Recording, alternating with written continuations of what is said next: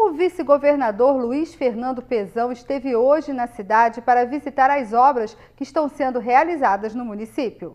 O vice-governador chegou na cidade no final da manhã desta sexta-feira e visitou os canteiros de obras em Conselheiro Paulino, onde estão sendo construídas as casas populares. Durante a visita, ele prometeu entregar pelo menos 200 unidades habitacionais até o aniversário do município. A gente quer entregar cerca de 50 casas aqui até o dia 16 de maio. É, a, prefeitura, junto com a Caixa Econômica, está cadastrando.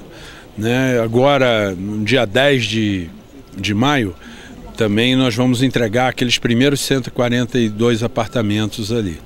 E logo após, é, a gente vai entregar os apartamentos da Friente, ali em Friburgo, que dão cerca de uns 42, se não me 42 apartamentos. Estas serão as primeiras unidades a serem concluídas de um total de 2.700. O número de moradias é correspondente ao número de cadastrados no aluguel social. Nesse ano vão ter diversas entregas. A gente quer chegar ao fim do ano, mais ou menos, com mais 800 unidades entregues.